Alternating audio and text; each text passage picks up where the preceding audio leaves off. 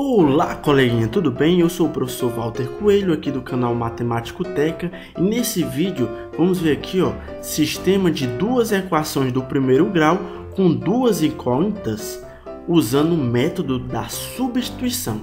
Beleza? Temos aqui, ó, no item A, o seguinte sistema. Isso mesmo. Vamos lá. Ó.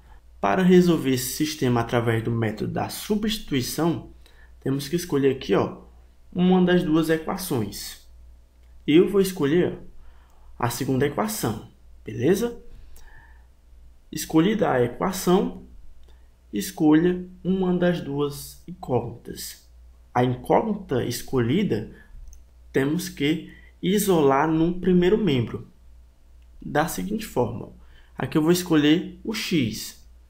Então vai ficar ó, x o y que está negativo, passar para o segundo membro, positivo, igual a 8 mais y.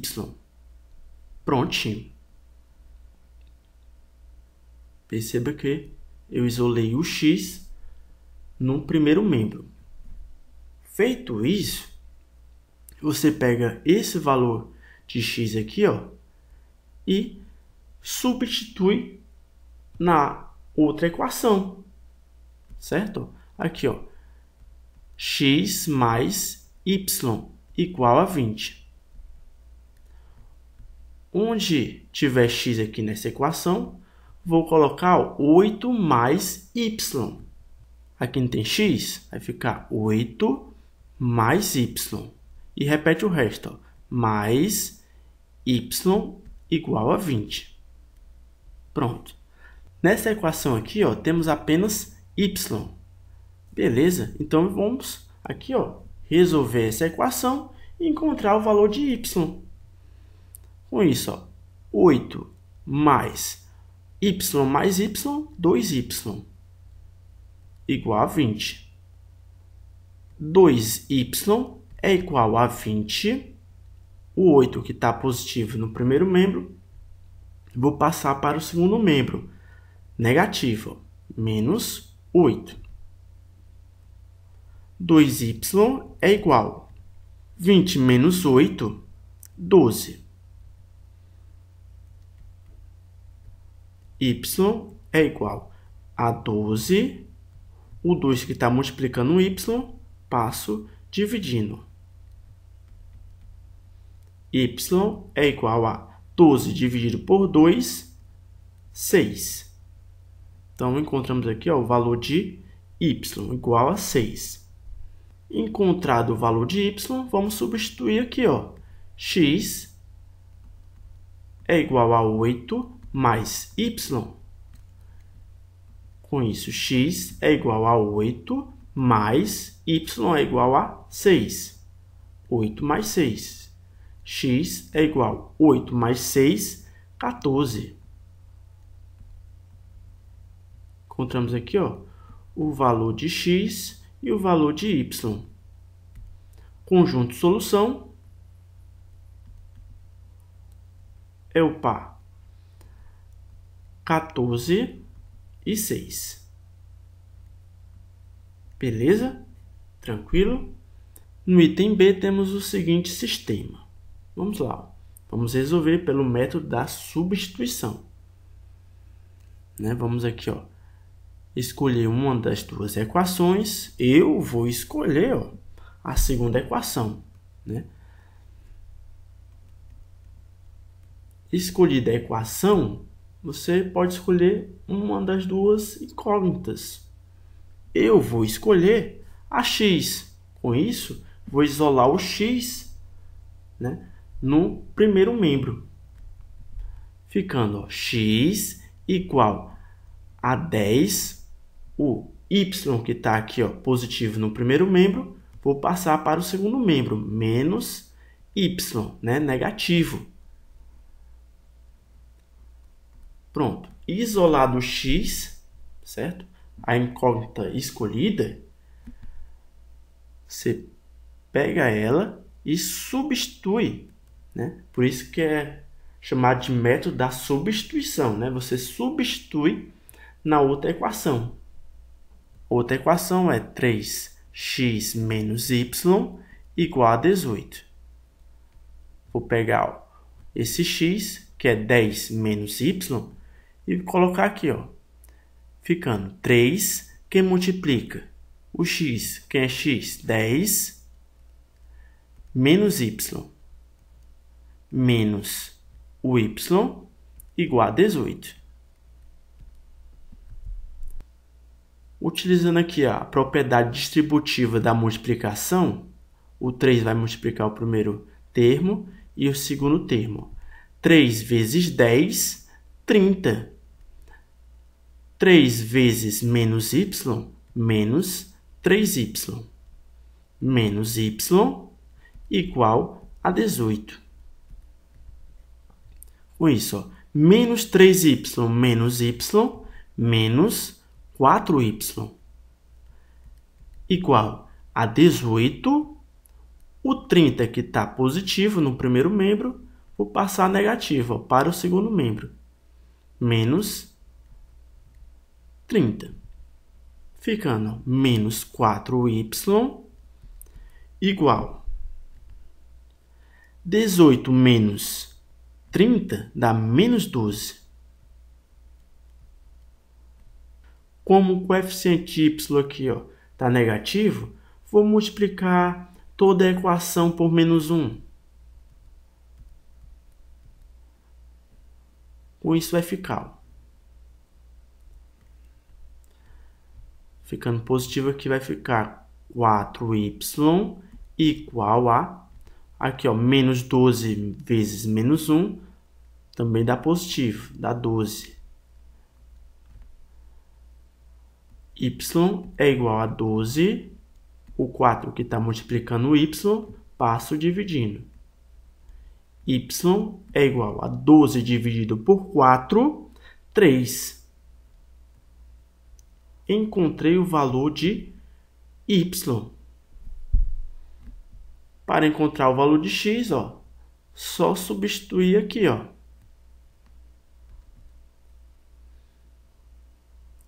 X é igual a 10 menos y.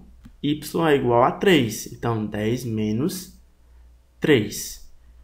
x é igual a 10 menos 3, 7. Encontrei o valor de x. Com isso, ó, o conjunto de solução é o par primeiro o x, né?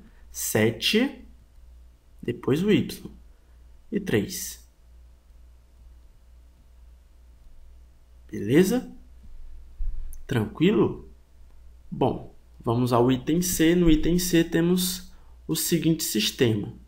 Perceba que nessa primeira equação temos né, termos aqui fracionários. Antes de resolver o sistema, temos que pegar essa primeira equação aqui, onde tem termos fracionários, né? E deixar da seguinte forma, ó. colocar aqui, ó. A x mais by igual a c. Né?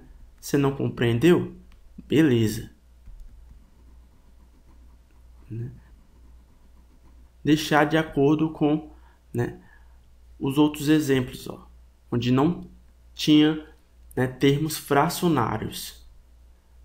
Beleza? Então vamos lá. Ó. Vamos pegar aqui essa equação. x sobre 5 igual a 10 mais y sobre 2. Né? Vamos lá. Ó. Como temos termos fracionários e com denominadores diferentes, temos aqui que encontrar um denominador comum. O MMC de 2 e 5 é 10. Então vamos pegar e colocar o 10 no denominador. E fazer o seguinte, ó. pegar o novo denominador aqui, ó, que, que é o MMC dos desses denominadores aqui, pegar esse novo denominador, dividir pelo denominador antigo, o resultado multiplica com o numerador. Beleza? Esse valor vai ser o novo numerador. Vamos lá. 10 dividido por 5, 2. 2 vezes x, 2x. Coloca aqui, ó. Agora, como aqui eu tenho 10, é como se tivesse 10 sobre 1. Beleza? Então, 10 dividido por 1, 10. 10 vezes 10, 100. Coloca aqui, ó. Agora, 10 dividido por 2, 5. 5 vezes y, 5y. Então, fica aqui, ó, mais 5y. Beleza? Como os denominadores aqui, ó, dos dois membros são iguais, eu posso cortar. Ó. Esse corta com esse, ficando apenas os numeradores. 2x igual a 100 mais 5y. Pega esse termo aqui, ó, que tem a incógnita y, e coloco no primeiro membro, ficando 2x menos 5y igual a 100. Beleza? Perceba que ficou né, no formato sem fração, sem nenhum termo fracionário. Prontinho. Então, o sistema vai ficar. No lugar dessa equação aqui, ó, nessa primeira equação, eu vou colocar essa equação. 2x menos 5y igual a 100. E essa aqui, ó, como não tem termos fracionários né, nessa segunda equação, vou apenas repetir. Ó, x menos y igual a 29. Se nessa segunda equação tivesse termos fracionários, eu tinha que fazer todo esse processo também. Beleza? Então aqui eu vou apagar essa parte para resolver o sistema.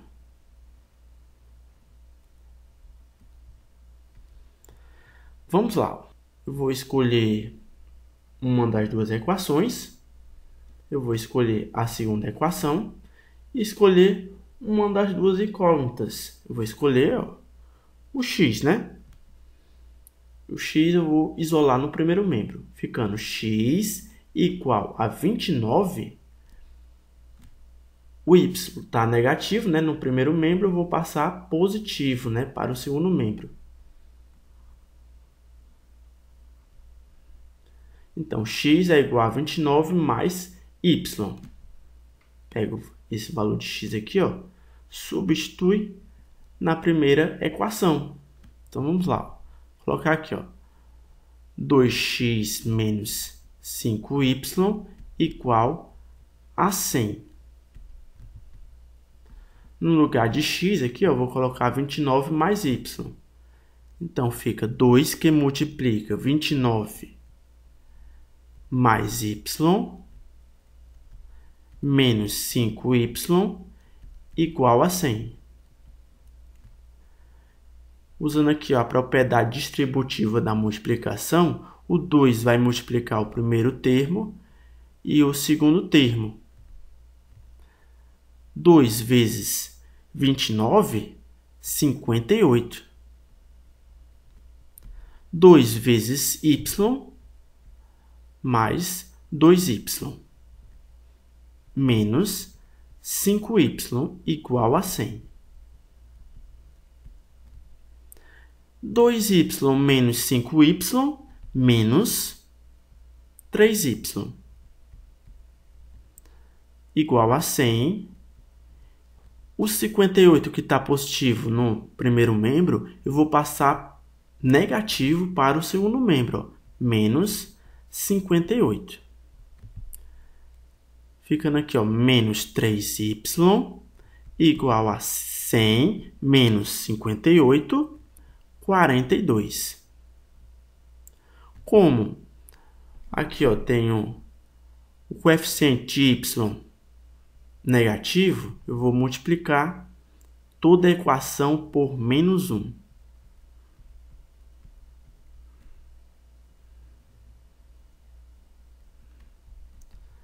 Multiplicando aqui por menos 1, aqui vai ficar positivo, né? 3y igual. O 42 está positivo, então mais com menos, menos, fica aqui, ó, menos 42. y é igual a menos 42 dividido, ó, o 3 está multiplicando o y, passo dividindo. y é igual a menos 42 dividido por 3 dá menos 14. Então, encontrei aqui ó, o valor de y. Vou pegar esse valor de y né, e substituir aqui. Ó. Tenho que x é igual a 29 mais y. Então, vai ficar x igual a 29 mais o menos 14 certo? x é igual a 29 mais, com menos regra de sinais, dá menos, menos 14. x é igual a 29 menos 14, 15. Então, encontrei aqui ó, o valor de x. Encontrei o valor de x, encontrei o valor de y, com isso, o conjunto de solução ó, é o par 15 e menos 14. Beleza? Compreendido? Então é isso aí, coleguinha. Ficamos por aqui. Um forte abraço, deixe seu curtir aí, inscreva-se no canal. Valeu e até a próxima. Tchau, tchau.